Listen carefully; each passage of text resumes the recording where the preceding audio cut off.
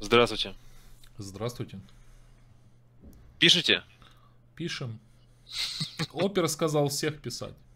Ну хорошо. А я смотрю, вы же Андрей Пол или Иван Полтава, да? Андрей Полтава. Ну здорово. Что, у вас какой-то вопрос был или так? Да, нет вопросов. Хм.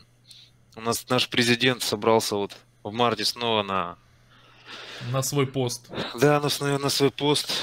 А, Нелегко я бы, да, я, я бы хотел бы, чтобы, ну это, конечно, нереально, это никогда не будет. Я бы хотел бы, чтобы он пришел, соответственно, издал указ о, или приказ о выводе всех войск из Украины, а, чтобы мы все попросили друг друга прощения, и чтобы у нас не было никаких границ, и чтобы мы снова жили одной дружной большой семьей. Э, я хотел бы, чтобы не было этого АТО. Э, я бы хотел, чтобы не было этого русского мира, который уничтожает и украинцев, и русских. вообще хотел бы, чтобы не было войны и чтобы не было этой лживой пропаганды, которая отравляет э, мозги и русским, и украинцам. Чего же вы в 2014 году это все не сказали, не вышли, а? Ну, потому что, видите, лично я был ватником.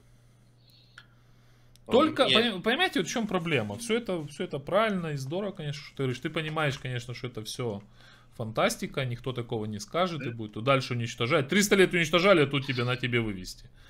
Эм, проблема в том, что к вам э, начало доходить, ну, возможно, начало доходить, не через то место, не через мозг, а через желудок. Вот это меня смущает. Из-за того, что на вас, из-за того, что в холодильнике становится, ну, условный такой холодильник, конечно же, становится все меньше и меньше, и свобод становится все меньше и меньше. Хоть сколько вы не кричите, там, что санкции не влияют, оно все равно влияет. И вот только через это место вам начало доходить. И вот это вот, ну, с одной стороны хорошо, с другой стороны плохо. Поскольку как только вы станете сытые и богатые, наберете опять силы, и будете заниматься тем же самым. Будете радостно махать правительству и кричать Крым наш или там, я не знаю, Аляска наш, вам же все равно. Ну, дело в том, что, слава богу, до меня дошло через голову. Мне те же самые украинцы помогли излечиться от э, ватного комплекса неполноценности имперской. И... Да наоборот, ватный комплекс, он неполноценности, он гипертрофи... гипертрофированного я, э, величия, ну как это? Сомнительного величия, конечно же. Если вообще взять всю социалку, всю ту жизнь, которая в России она сейчас происходит, э, те же самые коррупцию, взять то же самое воровство, э, взять отсутствие демократии, отсутствие свободы слова, то есть, ну, ну что хорошего? Ну вот, мы, а, вот в Красноярске, да, вот где вот я собственно, проживаю, потому что я говорю сразу открыто, то есть мне скрывать нечего, и я ничего не боюсь. Торговля, строительство. То есть это две основные отрасли, которые развиваются. Сказать, чтобы развивалось производство, какие-то крупные инфраструктурные проекты, ну, может быть, кроме четвертого моста. Как бы особо... То есть общество потребления, судя по всему. Да, конечно. Вон у нас э, все крупные торгово-развлекательные центры, там яблоку негде упасть, особенно в выходные дни. То есть, а библиотеки пустые. Ну, хотя ходят еще в тренажерные залы, как бы это радует, что как бы народ э, оздоравливается. Ну, солдаты нужны крепкие, конечно. Да, я вот, кстати, э, что касаемо солдат, то есть э, я думаю, что у нас э, скоро все будет, э, все очень просто с призывом на военную службу на контракт. Я так думаю, что нам скоро уже в массовом порядке будут повестки рассылать по электронной почте и, и вдобавок еще в почтовый ящик кидать повестки. Все, не придешь ну, да, сразу. Не, ну, судя по, по тому курсу, который взял Путин, и он его и продолжит дальше, э, солдат понадобится много. Даже если не воевать, то охранять периметр, а получается паранойя наш будет нарастать. Так же, как в СССР. Опять эти погранзаставы, там, секретные части. Сейчас вот выделяет Министерство обороны на строительство новых объектов. Так что, конечно, да, это будет приоритетно вообще. э, одна часть населения пойдет на э, ну, войска, а вторая часть будет за недорого работать на армию. Ну, я вспоминаю СССР. Вот. Будут ходить голодные, ну, такие полуголодные, но счастливые. О том, что, потому что где-то в это время э, Америка, Америка вообще разваливается, и доллар уже наконец-то начинает падать. Андрей, вы госдолг США видели? Вот, да, да, да, да, да. Я думаю, будет единственное табло, которое вместо телевизора, которое будет постоянно показывать этот госдолг, который растет. Прямо вот на, на рабочем месте, где ты будешь за токарным станком 20 -го года выпуска, прошлого столетия, точить, точить деталь такую какую-нибудь. И вот ты будешь постоянно время от времени зыркать, а, про проклятые америкосы, такие все хуже и хуже вам, блин, и все. Ну, а то, что этот госдолг можно списать одной кнопкой, об этом почему-то никто не задумался. То есть те, есть долг, любой, ЖКХ, электроэнергия, платежи в небюджетные фонды. Ты можешь нажать на кнопку, все, долга нет. Что толку от того, что он есть, если доллар это все равно он ничем не обеспечен. Абсолютно ничем. Кто кому должен? Госдолг США перед кем? Вот я спрашиваю у этой публики, перед кем долг? Никто мне может внятного ответа дать. Госдолг США. Что значит госдолг США? Ну, на самом э, деле там было объяснение, что у развитых стран у них большой государственный долг. Именно из-за вот этой межгосударственной торговли там и всего остального. Ну, это, это такая штука, которую постоянно показывают. У, у самых бедных стран у них нету долга, потому что у них у самих денег нету и как бы... Это если бы рубли свободно ходили по всему миру, как доллар, то да, у России был бы тоже долг, поскольку она выпускает деньги для внешнего, как бы, и эти деньги должны быть обеспечены в ее экономике чем-то, правильно? Соответственно, это как бы она ну, там, там целый, это целая система. Это, в общем, это... Главное знать, что он большой. Вот все, для россияне это самое важное. Кстати, ты слышал, что американцы хотели а. сделать спутники, которые будут транслировать бесплатный Wi-Fi, а Россия собирается их сбивать. Я в этом, по крайней мере, принимать участие не буду. Но опосредованно мне придется в этом принимать участие, потому что мы все платим налоги эти замечательные 13%, которые идут в федеральный бюджет. Так что опосредованно, судя по всему, я буду в этом принимать непосредственно, опосредованное участие. Конечно, конечно, за твои деньги. Не, ну скоро все, скоро будет нормально, вы не будете платить налоги, поскольку не будет зарплаты. Будет, э, я думаю, будет карточная система или трудодни, как было уже. Поэтому все советский, нормально. Советский биткоин. Да, да, да, да, да, да, первый, первый биткоин, первая криптовалюта, собираешь целый год, и потом меняешь на мешок пшеницы там. Там вторник, ВТ 0,5, палочку поставил, зачеркнули. Да. СР 0,3, палочку зачеркнули, все. Потом идешь в магазин, ты дни меняешь там на хлеб, на колбасу. Кстати, правда, что у вас за биткоин сажают? Ну, эта информация противоречивая. Не, ну я, я видел прям, я видос видел, где там вот конвертационный центр, люди там продавали, перепродавали криптовалюту, их там на пол положили, короче, компьютеры изъяли, в общем, все. Ну, вы знаете, пан Полтавченко, я к биткоину отношусь э, противоречиво. Это как? У тебя его нет? Да, у меня его нет. Это, знаешь, это трудно, как вот любимая фраза Жванецкого, что трудно спорить э, о вкусе устриц с теми, кто их ел. Ну да. Понимаешь, так вот я их ел, биткоины, они у меня есть. И я сильно переживаю о том, что я не слил их вовремя, ну у меня немного, у меня там даже не целый биткоин, а чуть-чуть. И я уже потерял на нем довольно большую сумму, но я, я держусь, пока не продаю. Смотрите, Андрей, вот, как бы если э, рассуждать за цифровую валюту, вот первое, у резервной валюты, да, есть что? Эмиссионный центр. Да я знаю. Есть номинал. Это лохотрон. Я, я в это... Не, я не говорю, что это лохотрон. Не, не, я тебе говорю, что это лохотрон. Он рано или поздно упадет. Вполне возможно. Э, потому что он, он держится только за счет постоянного роста. Это обычная МММ. Система та же точно. В конце концов, оста... в один прекрасный день, я очень просто надеюсь, что это не тот день, когда я провтычил сейчас его вовремя продать, останутся люди с, нуль, с какими-то циферками в интернете и у себя на телефонах, и останутся с этим миллионом горевших карт, видео и вот этих э, специальных компьютеров для майнинга этих биткоинов, в которые они вложили тысячи долларов. Продали квартиры, взяли кредиты. Да, у меня, у меня он есть подорванные друзья такие, которые он сейчас майнят.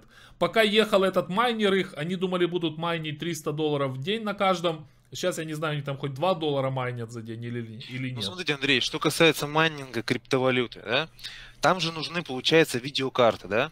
Не-не-не-не-не. На видеокартах это майнят лохи. Я, ну, я же как продвинутый тебе уже пользователь. У, ну, вот уши уши мои лохов. были уже... Мне, Взять не, лохов? Не, не, подожди, не, на, не, на видеокартах лохи, я тебе говорю, то на, на видеокартах это для, есть уже специальные компьютеры, которые никакой другой функции не могут выполнять, кроме как майнить определенные валюты. Ты, наверное, не слышал об этом. И они стоят там тысячи долларов. Их вот закупают, ставят в пул, и они там шарашат. Видеокарты это не то. Вообще, э, если получается брать э, э, вот внешнеполитическую ситуацию, которая происходит, мое видение, такое мое видение ситуации. Я, конечно, за свои слова могу пострадать, потому что у вас канал публичный, его посмотрят десятки тысяч, но все-таки я свою позицию скажу, потому что надоело уже бояться. Что касается юго-востока Украины, я считаю, что там есть российские войска, там так называемые отпускники, ну и может быть какая-то часть еще действительно э, лояльных России, то есть местных жителей. Это единственная армия, вообще стра- Россия единственная страна, которая в отпуск отпускает своих военных вместе с техникой и оружием. Да, а, то есть вот эти все Луганская и Донецкая Коля, ты в отпуск идешь, возьми танк с собой, нам просто его негде ставить. Да, да, да. Коля такой, да ну вы задолбали, я запарился заправлять, бензин дорожает каждый день на 10 копеек, как мне тут сказали. Он говорит, так он не бензином, дизелем, тут таки дизель дорожает. Не, все, забирай, езжай, все, он на тебе числится и все. И вот так у вас выглядит человек, все, поехал домой со своим танком. Или, есть... или со своим этим, э, там, БТР. Да, то есть я вообще считаю, что... Буратино и Юго-восток все. Украины, это юго-восток Украины. То есть это украинская территория. Что касается Крыма, то есть я как бы не могу ничего сказать, я не понимаю даже, учитывая то, что я разбираюсь в политике, я не знаю, что с ним делать. Я не знаю, как решить эту проблему.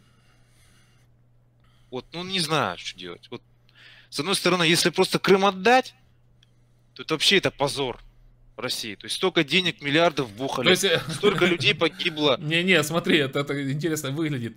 Большего позора, что вы его украли, уже не будет. Согласен. Ты, тут, ты тут понимаешь, это, у вас сейчас такие эти сомнения, вот такие украл кошелек. Блин, как же ж теперь, я же украл кошелек, как же же его теперь отдать, неудобно. Да. Вот. Давай, давай хоть вот деньги пробухаем ситуация. с него, чтобы хоть было не так стыдно, чтобы Хоть давай, давай хоть заводы с Крыма повывозим, там, я не знаю. Да, там. то есть это аналогичная ситуация. И третий момент. А, нужно как можно быстрее восстановить прежние э, внешнеэкономические связи. То есть э, украинские компании, они, получается, э, и приходят на рынок России, а российские компании приходят на рынок Украины. Ну, то есть, чтобы было как бы обоюдно, все такой своеобразный Мы такие пришли на рынок, никого нет у вас, постояли и пошли, да, дальше. Не, ну почему? Вот банк, который у вас же есть, как он называется? Приватбанк? Да, вот Приватбанк, у него было отделение же в Липецке. Было, вы уже раз отжали систему в России и в Крыму, вы хотите еще раз ее отжать, да? Уже ну, лаки не пойдут на это дело такое второй раз. Э, То Нет, есть... ты, ты просто, ну, я вижу, что ты хочешь как бы наладить контакты и все остальное, но ты понимаешь, что настолько разрушены э, контакты и настолько имидж уничтожен, он, он сейчас ничтожен России. Россия, вот вы все время не понимаете, вопрос же не в том, влияют санкции или нет на вас. Это сам факт того, что вы изгои просто. Ни, ни одна компания не будет э, вести с вами бизнес, поскольку сегодня надо построить завод, а завтра вы его отожмете, экспроприируете. Согласен. Стыдобище. Не, да, то есть это, это просто, ты решишь, какой, какие рыночные отношения. У нас раньше, ты думаешь, были рыночные отношения? Постоянно Россия играла в свои войны. Это постоянно. То у вас там сыр не такой, то еще что-то. Я ж не устаю повторять. Когда есть видео на вашем молокозаводе, когда на сыр-заводе, когда пацаны голышом купаются в чайне с молоком, блин, и потом вы едите сыр с лобковыми волосами, то это нормальный сыр. А когда наш прекрасный сыр, то он что, что-то с ним не так. Может, вам изюминки не хватало, конечно. И так Плесень во всем. И так, э, что вам продавать, что у вас что-то купить, это же невозможно. Так же, как газ, вы же устраивали вот этот цирк с поднятием цены, и мы вам вот сейчас будем отключать торжественно там. И Россия все, браво, браво, от хохлам надо отключить, сейчас я пойду дрова подкину и посмотрю, как дальше будут отключать газ в Украине. 60% населения России не обеспечены газом. Ты знаешь об этом? Конечно. Я все, я все цифры замечательного путинского режима знаю. И вся эта стабильность, э, потому что цифры, они, понимаете, Андрей, они отрезвляют. Все эти данные в ЦИОМа, счетной палаты, Левада-центр, они все вот перед, перед нами. И эти цифры, они абсолютно не обнадеживают. При э, изучении этих цифр только грусть, печаль, тоска и уныние. Это, это прекрасно, я считаю. Да, это прекрасно. Не, ну это, это хорошо, что... Не, с одной стороны, плохо для вас и хорошо для остальной части населения России, которая э, имеет сейчас э, плохое образование, и для них эти все цифры вообще...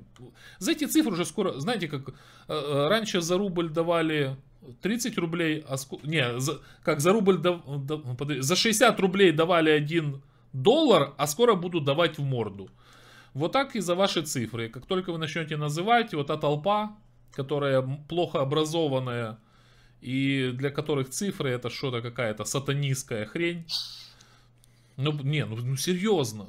я, я зачем постоянно... цифры? Им зомбоящик. Я же говорю, я, вот, я общаюсь вот с кем-нибудь, и говорю, ну смотри, вот, вот тут есть на сайте, э, там, на вашем российском даже, .ру, есть информация вашего статистики, вот такой-то, что у вас нету туалетов даже, э, теплых да. туалетов, нету водой не обеспечен. Это ты все врешь, это ваш поганый украинский интернет, а, а еще и... Бандеровская пропаганда. Да, и все, какие цифры, кого они отрезвляют. Это все придумали враги. Да. И э, такой еще момент. Э, э, нужно сделать так, вот давайте с вами представим, Андрей, что мы завтра просыпаемся. И России и... больше нет. нет. Ой, блин, нет. я Россия должна остаться. В том варианте, Зачем? в котором она нет, Россия должна до развалиться. Россия это, Нет, я повторяю, не раз... развалившийся СССР. Такая Нет, огромная, бесполезная территория, она не нужна. А, полезная. А я не договорил. Я бы хотел бы, чтобы больше не было антитеррористической операции. Чтобы ни один украинский парень больше не погиб. Чтобы все украинские военнослужащие, войскослужбовцы вернулись к себе домой к своим мамам, к своим дочерям, а, получается, к своим родственникам. И я хотел бы лично от себя а, у всех а, военнослужащих, ну не только военнослужащих, да вообще у граждан Украины попросить прощения. Мне стыдно. Но, к сожалению, в данный момент лично я и такие, как я, мы ничего сделать не можем, потому что вот от нас отворачиваются проблема. друзья, от нас отворачиваются даже родственники, нас травят, и поэтому как-то печально все. Но ничего сделать мы не можем, поэтому ну, я бы хотел бы, чтобы вот было так, вот как я сказал. Чтобы мы завтра с вами проснулись, и чтобы все, что чтобы все не вернулись адекватный домой. в России. Это, чтобы это... не все, все сели на свои БТРы, сели на БРДМы, на танки, и все, и парадным и маршем в расположении части. Так э, тут есть одно но. Это все прекрасно, так почему ты не желаешь что того же самого российским отпускникам? Потому что получается как-то украинская армия должна уехать с украинской территории куда-то не пойми куда. Я напоминаю, что Луганская, Донецкая, Луганск и Донецк это украинские города и прилегающая да. к ним территория. Да. Поэтому украинцы вообще никуда не должны туда ехать, и никакие военные на своих танках и бардемах, они должны наоборот продвинуться вперед и восстановить контроль между Украин, Украино-китайской границей. Это вы спорная территория сейчас находитесь между Украиной и Китаем. И все. Ну, я пошутил сейчас, а тут ты так завтыкал. Я, знаете, Андрей... Конечно, я... между Украино-российская граница, которая, на, которая сейчас не под контролем Украины. Ну, вы знаете, я здесь в данном моменте, я не разделяю ваших взглядов. Э, я считаю, что Россия должна быть э, в тех границах, в которых она есть сейчас. Это моя позиция, это мое мнение, она остается неизменным. То есть а... с Крымом вместе? Из, Скрыл, из, нет, из Луганска, из ЛНР, нет, ДНР. Нет, это вот это всех вот Захарченко, Плотницких забирайте себе. Всю вот эту Лугандию, вот эту угу. э, ДНР, ЛНР забирайте себе. С Крымом, и повторяю еще раз, нужно что-то делать, что-то решать. Потому что, ну как это все делать, как это все решить, как бы я, ну я пас. Я не знаю тут рецепта и не могу ничего сказать, потому что ну, я реально не понимаю, не знаю. Но Россия должна остаться в тех границах, которых есть. Да, у нас очень много проблем. А, да, а, то руководство, которое сейчас, э, например, занимает должности, оно, как сказать, должно быть другое руководство. Ну, вот может Путин, думать... вот может быть новый Путин займет место старого Путина, и у вас что-то поменяется. А вдруг вот человек такой, блин, сядет, ё ну дается шанс мне, ну сколько можно? Уже страну загнал под санкции, развалил экономику, э, умирает столько людей, блин а потом такой думает, да чё, я классно все идет, Ха! погнали на следующий срок, давайте еще на Аляску нападем. Ну, не знаю. В общем, руководство, я думаю, что должно смениться, и должны прийти люди, которые действительно э, будут беспокоиться о людях, о простых людях, которые живут. Откуда они возьмутся, скажи, вот эти люди мифические, которые должны прийти? Если адекватные люди не могут ни выучиться, ни занять никаких политических, не участвуют в политической жизни, ни даже какую-то маленькую там оппозиционную партию не могут создать и поддержать там Навального. О чем ты говоришь? Откуда возьмутся эти мифические люди? Из той же системы? Нифига. Ну да, наша, знаете, наша российская партия реги регионов нам уже тоже порядком осточертела. Вот и я об этом. Так и... на, нам наши партии тоже, честно говоря, осточертели, все, которые есть. И вот, вот мне да. там задают вопрос, что там, вот давай там, иди в депутаты, вступай в какую-то партию там. Ну, ну вот. Я, я не хочу этого. Же, Понимаешь, если что-то начинать, то нужно начинать это новое, с новыми людьми и делать это с чистого листа, а не перекрашивать в очередной раз, как у нас была партия Рыгов, стал оппозиционный блок или еще как-то там. Остановитесь! Да, да, да, да, да. Остановитесь уже этой херней заниматься. Да, уже пора остановиться. Ну, я бы хотел бы, чтобы в России сменилась модель экономики. А, то есть э, новая индустриализация, а, упор, получается, на а, какое-то развитие крестьянских фермерских хозяйств, на сельское хозяйство, а, индустриализация, в том числе в малых городах, поселка городского типа, развитие сел должно быть, а, снижение ставки рефинансирования Центрального банка. То есть это ставка должна быть 3-4%, да, чтобы можно было людям давать ипотеку по 5-6%. Кредиты бизнесу дешевые. А, получается, крупный капитал, точнее крупный бизнес. Львиная доля крупного бизнеса должна быть выведена из офшоров. Должна быть перерегистрирована там, где непосредственно есть предприятие. Если есть какой-то крупный металлургический комбинат, например, где-то находится он там где-нибудь там под Оренбургом, то значит он там должен быть и зарегистрирован. Только там должен быть и фактический юридический адрес. Что еще? Упразднить партию «Единая Россия». Это сто процентов. А, начать люстрацию против э, партийных функционеров вот этой вот замечательной партии. Это сто процентов. Они не сделали ничего хорошего. Я не вижу ничего хорошего, кроме имиджевых проектов. Кроме универсиады, кроме чемпионата мира, кроме еще что-то. Одни пропаганда и какие-то имиджевые проекты. А чтобы они сделали что-то полезного, хорошего для людей, ну, я не вижу. То есть это, если они что-то делают, то это э, все так вот пересекается, идет в параллель с пиаром. Вот они делают вот так вот. Ну, и показуха, и ты можешь сказать показуха да. просто. И, конечно же, коррупция. Снижать уровень коррупции. Потому что победить коррупцию как явление не получится. Можно только снизить то есть вот взять так вот, и так вот, и взять и планку опустить. А чтобы это сделать, нужно начинать с яслей. Что коррупция это не модно, что коррупция это плохо. Потому что взрослым людям уже, которые сидят в кабинетах, э, облеченных вот властью, им уже ничего не сделаешь, не докажешь и никак не переубедишь, не перевоспитаешь. Расстрелами заниматься тоже не вариант. У нас население и так сокращается без расстрелов. Начинать ясли, детский сад, школы, институт, среднеспециальное учебное заведение, вузы, что коррупция это плохо, что это не модно, что это не в порядке вещей, то есть такую контрпропаганду делать против коррупции. Ну вот как-то так. А, ну, и еще нет, должно... Дело в том, что с коррупцией такими методами бороться это до одного места.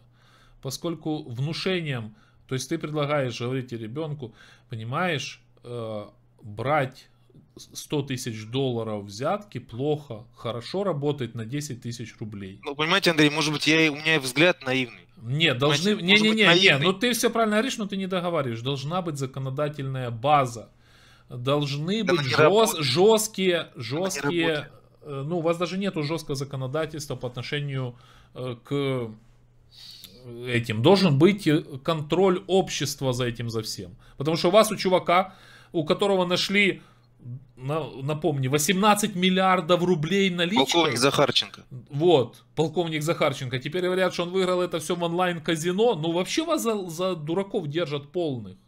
Да? И народ, народ все проходит. А, ну, а, ну если в казино, то конечно, чё ж, ну, а почему бы не сложить в одной комнате, нормально все.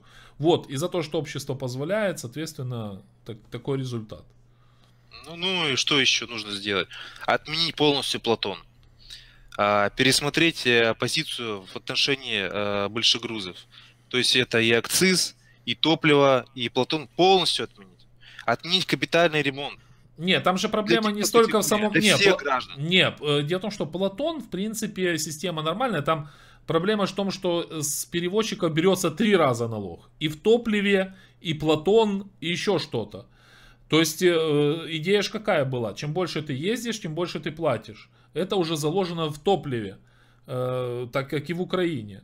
Кто мало ездит, ну, ну то есть ты, ты налог, раньше мы платили ежегодно, допустим, налог, за, там, на строительство дороги, на все остальное. Но это было как бы не совсем правильно, потому что у дедушки там какой-то запорожец стоит, и он на нем два раза в месяц выезжает на дачу с бабушкой.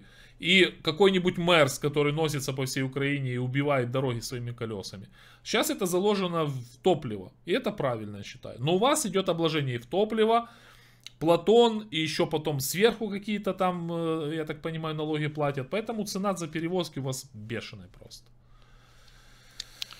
Ну, так, понимаешь, э, поймите, были бы дороги еще. То есть, если бы эти средства, которые аккумулируются с помощью Плутона, шли на развитие магистралей, автобанов, федеральных дорог, да, которые соединяли бы полностью все бы регионы, может быть, тогда бы и никто бы не бастовал, не уступал.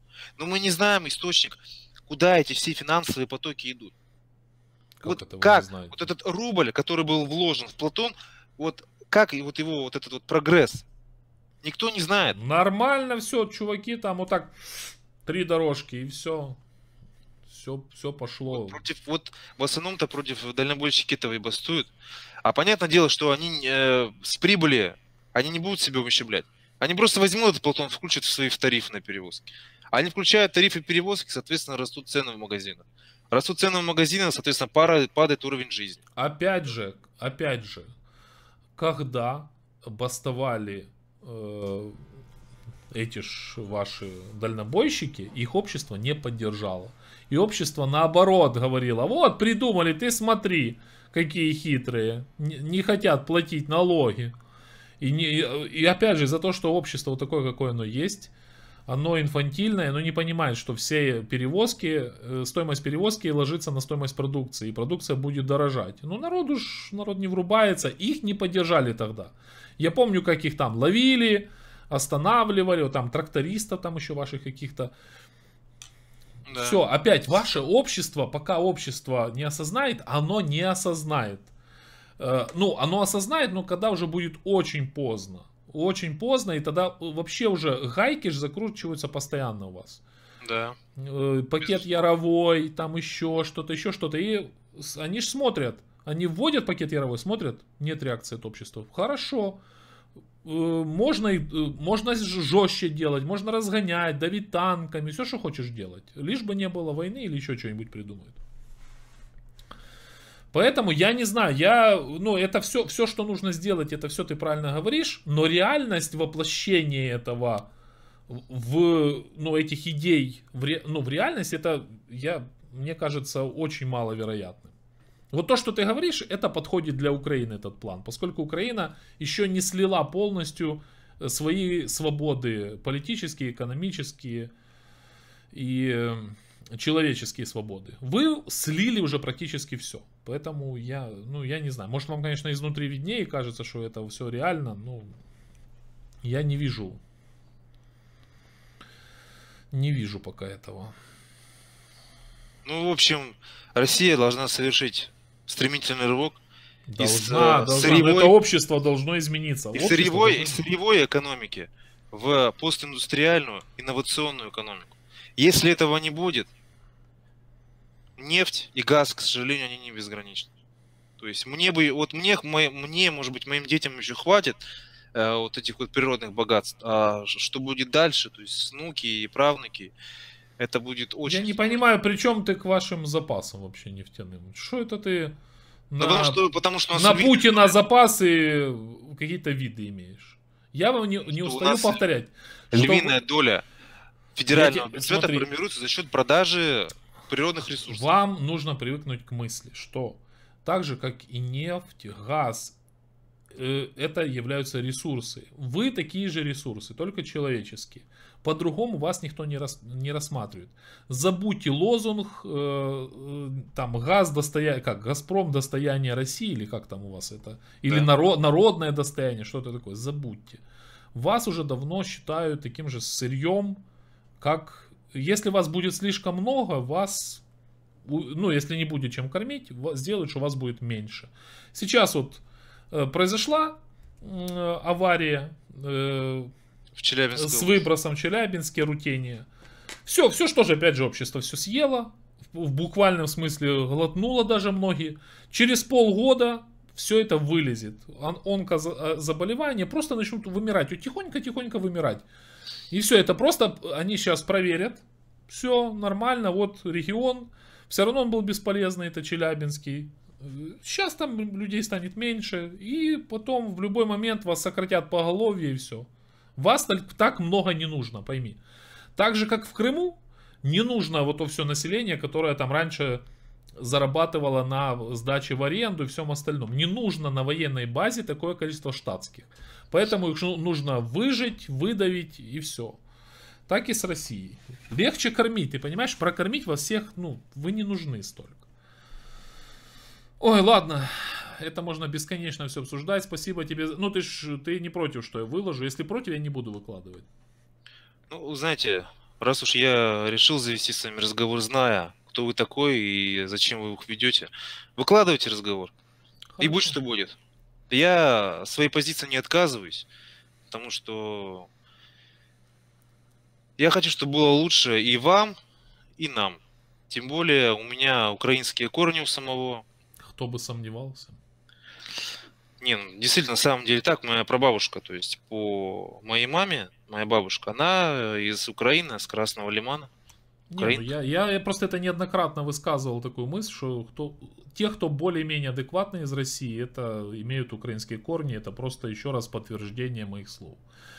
Хорошо, спасибо тебе. В общем, тогда ставьте лайки, Сейчас, Напишите минуту, комментарий, что вы думаете о том, что сказал этот э, редкий представитель российского общества, который хочет что-то хорошего для своей страны. Слышите?